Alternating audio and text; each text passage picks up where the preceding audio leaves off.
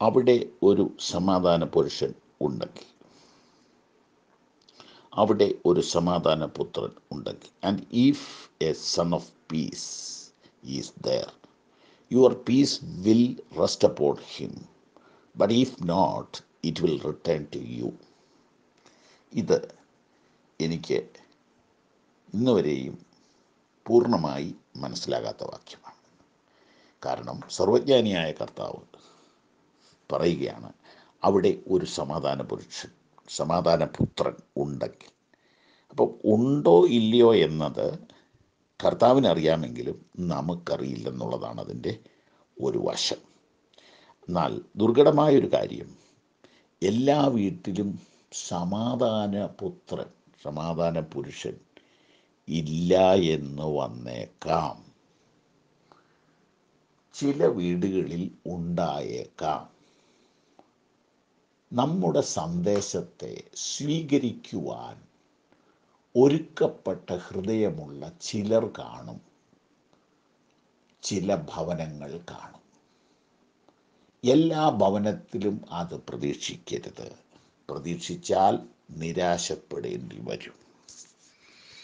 അവിടെ ഒരു സമാധാന പുരുഷൻ അഥവാ സമാധാന പുത്രൻ സൺ ഓഫ് പീസ് ഉണ്ടോ എന്നെങ്ങനെ അറിയാം? അത് മുൻകൂട്ടി അറിയാൻ ഒരു മാർഗവും പറഞ്ഞിട്ടില്ല. പൗലോസ് ഫിലിപ്പിയ പട്ടണത്തിൽ പുഴവക്കത്തിരുന്ന് വചനം പറഞ്ഞപ്പോൾ അവിടെ ഒരു ലുതിയ ഉണ്ടോ എന്ന് വിളിച്ചു ചോദിച്ചിട്ടല്ല പോയത്.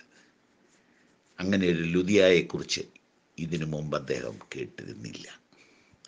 എന്നാൽ വചനം പറഞ്ഞുകൊണ്ടിരിക്കുമ്പോൾ ലുതിയ പ്രത്യക്ഷപ്പെടുന്നു.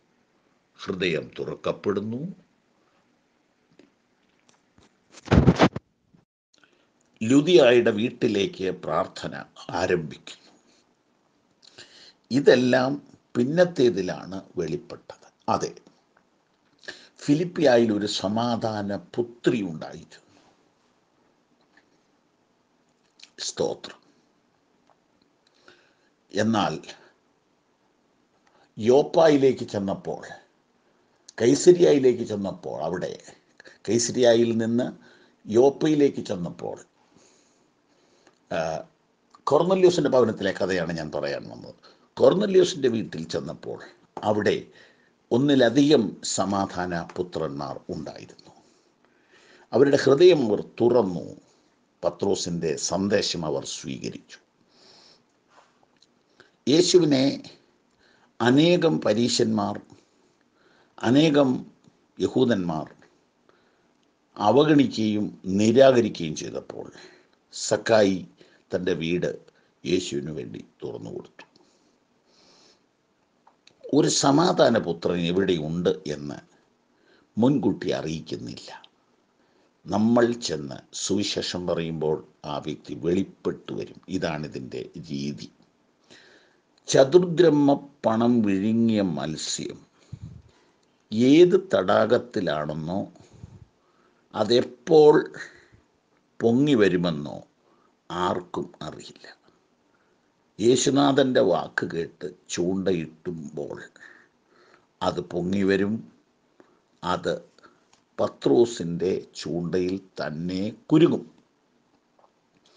ഇതുപോലെ നാം പോകുന്ന ഗ്രാമത്തിലും പട്ടണത്തിലും ഒരു സമാധാന പുരുഷൻ ഉണ്ടാകാതിരിക്കില്ല.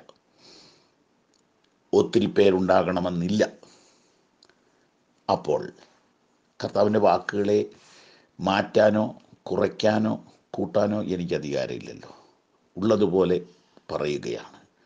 അവിടെ ഒരു സമാധാന പുത്രൻ ഉണ്ടെങ്കിൽ നിങ്ങളുടെ സമാധാനം അവന്മേൽ വസിക്കും. ഇല്ലെന്ന് വരികിലോ നിങ്ങളിലേക്ക് മടങ്ങിപ്പോകും. നമ്മുടെ വീട്ടിലൊക്കെ ഇതുപോലെ ആരോ നമ്മുടെ നാട്ടിൽ നമ്മുടെ ജോലി സ്ഥലത്ത് ആരോ സുവിശേഷവുമായി വന്നപ്പോൾ നമ്മുടെ ഹൃദയം അവരെ സ്വീകരിക്കാൻ ദൈവത്താൽ ഒരുക്കപ്പെട്ടു. അങ്ങനെ ആ സമാധാനം നമ്മുടെ ഉള്ളിലേക്കും പിന്നീട് നമ്മുടെ കുടുംബത്തിലേക്കും തലമുറകളിലേക്കും വന്നു. അതല്ലേ സത്യം? ഹാ ദൈവത്തിന്റെ ക്രമീകരണങ്ങൾ എത്ര വലുത്. ദൈവനാമം മഹിമപ്പെടട്ടെ. ആമേൻ.